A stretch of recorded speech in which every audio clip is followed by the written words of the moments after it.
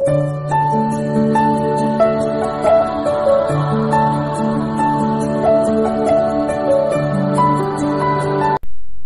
Friends, मेरे channel में आपका स्वागत है। तो आज की वीडियो में शेयर करूँ मैं अमरनाथ यात्रा। तो श्रावण महीना के तीसरे सोमवार को सभी कोई को बहुत बहुत बधाई और शुभकामनाएँ। सभी कोई स्वस्थ रहे, सभी की मनोकामना भोले बाबा पूर्ण करे। तो अमरनाथ यात्रा करने के लिए फिर से मैं कश्मीर आ पहुँची हूँ। तो यात्रा करने से पहले जो श्रीनगर में मैं दो तीन दिन ठहरी थी तो वहाँ पर मैंने कुछ साइड सीन्स भी देखे तो उसका व्यू देख सकते हैं। तो सबसे पहले हम लोगों ने गुलमर्ग गए थे। तो यहाँ गंडोला राइड से ऊपर चढ़े जाते हैं तो फ़ेज़ वन फ़ेज़ टू पर कहीं भी अभी स्नोफॉल दिखने को नहीं मिल रहा है, क्योंकि काफ़ी गर्मी होने के वजह से चारों तरफ़ पहाड़ ही पहाड़ दिखेंगे, जबकि अप्रैल, मई में जब यहाँ पर आए थे, जिसका वीडियो भी मैंने शेयर किए हैं तो देख सकते हैं बहुत ही सुंदर नज़ारा था और बर्फ़ से ढका हुआ चारों तरफ़ था, जबकि अभी स्नोफॉल कहीं भी नहीं देख सकते हैं, पूरा खाली है और गर्मी भी काफ़ी है तो यहाँ पर विजिटर आ रहे हैं, पर उतनी संख्या में लोग नहीं है, कम है। तो जो लोग अमरनाथ यात्रा के लिए आए हैं तो कुछ कुछ जन अभी बीच में आ रहे हैं। तो गंडोला राइड से मैंने फ़ेज़ वन फ़ेज़ टू में गए, पर कहीं भी बर्फ़ अब इस टाइम नहीं देख सकते हैं। उसके बाद फिर से हम लोगों ने दूध पथरी गए। तो दूध पथरी का भी देख रहे हैं, बहुत ही खूबसूरत है। तो पत्थरों के बीच में जो ये गंगा बहती है तो इसी को दूध पथरी कहते हैं। तो यहाँ भी कहीं भी स्नोफॉल नहीं है और नहीं ठंड है, गर्मी है।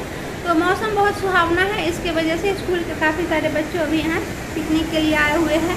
तो बहुत ही अच्छा यह जगह है। बहुत ही प्रकृति की सुंदरता यहाँ पर बनी हुई है।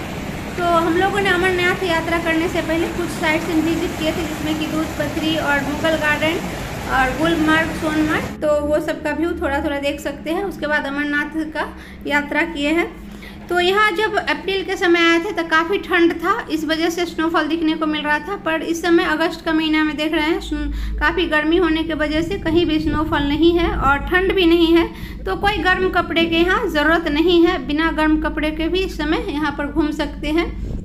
वैसे हम लोगों ने बहुत सारे गर्म कपड़े कैरी करके लाए हैं, जो कि इस तरह रखे हुए हैं। तो दिन में बहुत ही गर्मी पड़ती है, रात में थोड़ा मौसम सुहावना हो जाता है।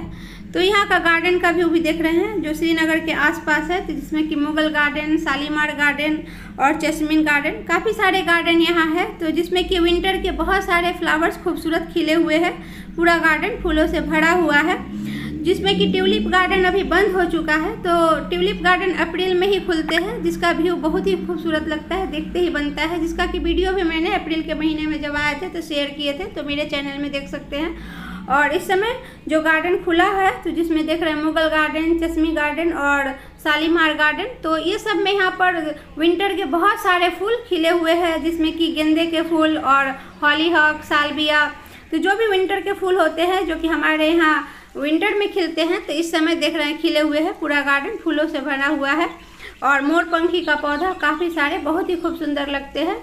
तो देख सकते हैं गार्डन का व्यू जो बहुत ही खूबसूरत और मनमोहक है। तो धूप हल्की है, पर गर्मी के वजह से भी यहाँ पर देख रहे हैं बहुत आदमी कम आ रहे हैं, पर खूबसूरत नज़ारा देख रहे हैं गार्डन का। तो जो लोग पेड़ पौधे से लगाव लगते हैं तो उसको हर गार्डन ही सुंदर लगते हैं, और वो फूल देखते ही, वो आकर्षण उधर खींचे जाते हैं। तो बहुत ही खूबसूरत है। तो छाता के सहारे हम लोगों ने ये पूरा गार्डन देखे, पर कुछ गार्डन ही घूमे, कुछ छोड़ भी दिए। उसके बाद फिर हम लोगों ने अमरनाथ यात्रा करने के लिए पहुँचे। तो अमरनाथ यात्रा दो तरह से होती है। पहला, पहलगाम से और दूसरा बालटाल से।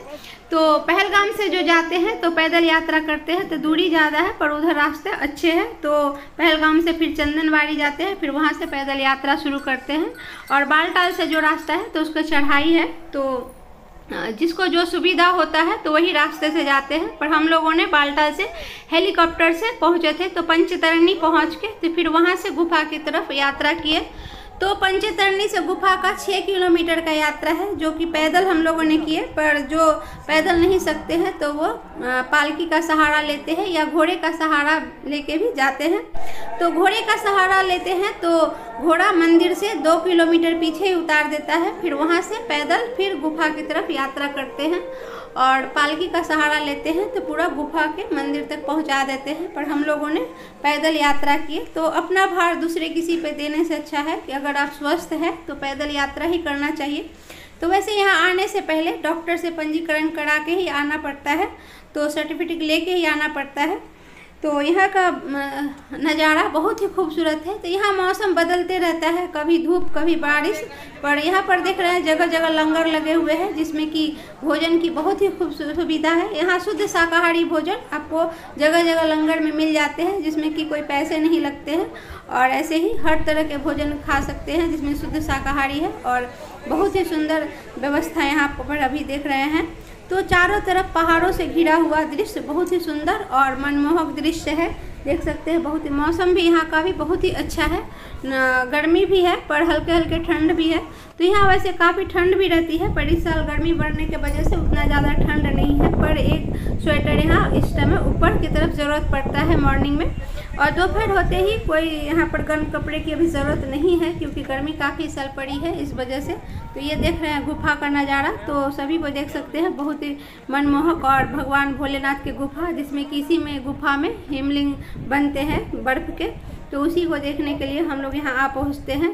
तो बिना ईश्वर के मर्ज़ी के बिना पत्ता भी नहीं हिलता है तो उन्हीं के मर्ज़ी है तभी मैं यहाँ आ पहुँची है। तो वैसे तो सोचते बहुत ही, दिनों से हम बढ़ जाते हैं, जब बाबा बुलाते हैं तभी जाते हैं, क्योंकि प्लान तो बहुत सारे करते हैं, पर सक्सेस होता नहीं है। तो इस साल बाबा की अगर मर्ज़ी होगी, तभी हम यहाँ आ पहुँचे हैं। तो काफ़ी दिनों से मेरे ने प्लान बना के रखे थे कि कश्मीर घूमना है तो कश्मीर भी तो घूम लिए और उसके बाद अमरनाथ आ पहुँचे हैं।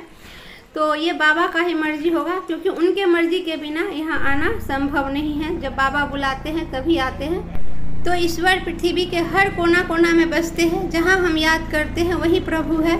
तो जिसको जहाँ प्रभु बुलाते हैं, वहीं जा पाते हैं। तो उनके मर्ज़ी के बिना यहाँ आना संभव नहीं है। जब प्रभु का मर्ज़ी होगा, तभी हम आ पाते हैं। तो इसके लिए बहुत बहुत इस प्रभु को शुक्रिया जो कि हम यहाँ तक आ पहुँचे। तो बोलिए, बाबा भोलेनाथ की जय। बाबा बर्फानी अमरनाथ की जय।